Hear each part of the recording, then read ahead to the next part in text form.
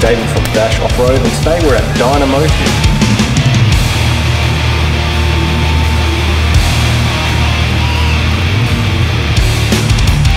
So we're at Unichip, working on installing it now. So I've put the bigger tyres on now and I've noticed everything's just got slower. So what I want to do is put this chip on. Uh, hopefully that's going to give a bit more bounce to my patrol and I'll talk to you about how it's all done and what the results are. So why did I go for a Unichip? Well, I must admit, when you hear about cars blowing up all the time, I was reluctant to put a cheap flash tuner on my car. I know the Patrol is a pretty good, strong platform, but I'm not going to put something that is so integral to the performance of a car, especially when I'm full driving out of bush, and then something goes wrong with it. So having a backed warranty is so important. For... So another thing I like about the Unichip is you can disconnect it and you can move it to another car if you want to. So if I upgrade to a Series 4 Y62, um, I could unplug it and then would probably need a new wiring loom and possibly uh, retuning. But the actual uh, chip can move car to car, so you buy once and you've got it for life. Uh, the other thing, what happens if you're out in the bush? So let's say, let's say I didn't go Unichip, let's say I flash tuned it and something goes wrong, engine lights are on, it goes into limp mode. Uh, a flash tune, you can't do anything about it. But if you've got a Unichip, you disconnect it, you put a bridge connector and that'll change it back to the factory computer as if it's never even happened. Because these chips, they're not uh, a bolt-on as such thing. They're actually like a whole ECU kind of management system. They're closer to that than a typical sort of chip that you would see. So let's talk about real-time tuning. So that means it's on the dyno, the car is under load, and then you can change the air fuel mixture and, and timing at that moment what the car's doing. So we can set it at a speed and have a look at the torque and power output and then change the tunes to get it to suit towing or suit four-wheel driving. Um, we can change the throttle positions so when you're four-wheel driving you're going over moguls um, and if your accelerator is too touchy or throttle's too touchy this will back it off in the full drive setting similar to putting in rock mode actually and it means it's going to give you more um, uh, tactile response on the throttle. So we're going to put it on the dyno do a before and then an after, so I'll show you that at the end. And I've gone for the five map selection tune, so I'm going to have one for power, one for 95, 91, a full driving map and a towing map, something like that.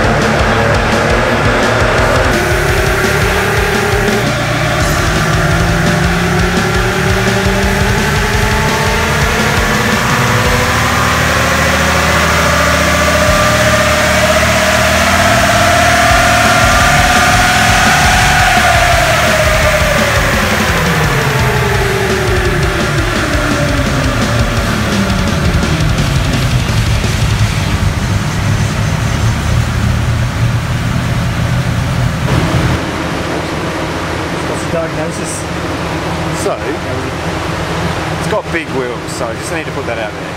So some cars have little tiny wheels, and Patrols have big wheels.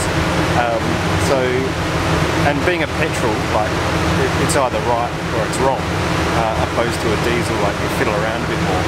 So um, uh, we're going to do a tune, five tunes.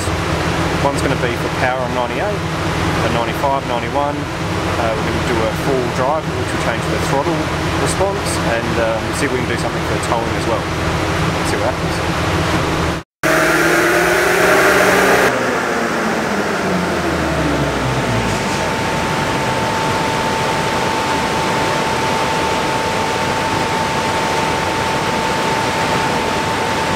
See, the blue one is the 98.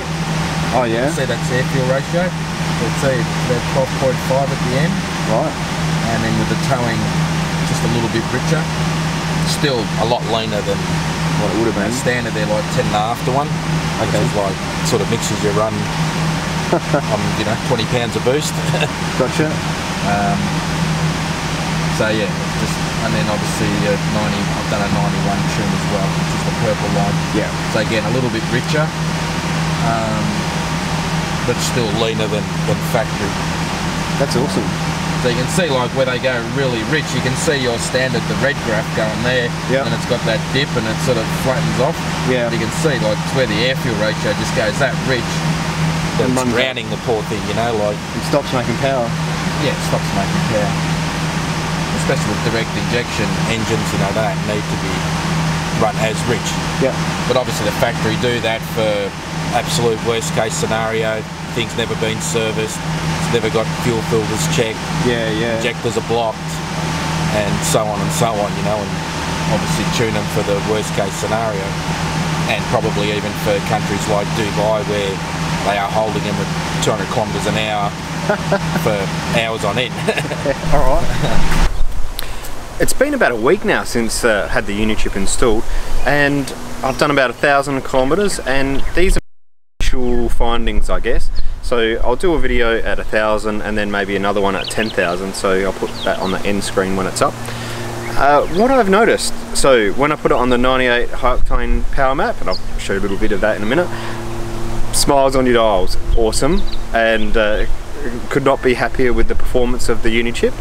Uh, now, on the other side, and this is something I didn't actually realise I was going to get, but I ran a half a tank of fuel with uh, the 98 octane, and then I ran another tank of fuel with 91. Now, I reckon I'm getting more power out of the 91 that I used to get with my, you know, standard mat, Nissan in um, octane fuel that I used to run. So I'm getting more power, but I'm actually getting, it's either the same or a little bit better fuel economy. So the big win here, like during the week and when I'm just doing school runs and that sort of thing, I'm going to run 91 for economy. It's still getting more power anyway.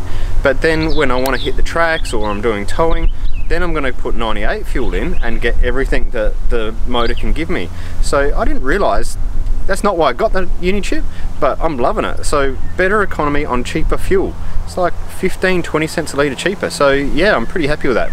All right, I'll show you this 98 high power map and how to set it up and go between the maps. And uh, then I'll show you a little quick spurt too. Okay, this is what you do to change maps. Turn the ignition on. I'll spin the camera around so you can see my phone. So download Unimap for iOS through um, the App Store or Android if you've got that. Click on that one. Um, next you can either go show all devices, but it's showing up here already. Uh, we can query which map is in use and it says down the bottom, currently it's in uh, 98 power map. To change maps, it's as simple as pressing that. You can do it on the fly at any time.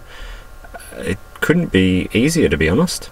Um, so I'm, I used 98 fuel the other day and I did a power run. So let me show you what that looks like. Do I like the Unichip 98 high power map? Yes, I do.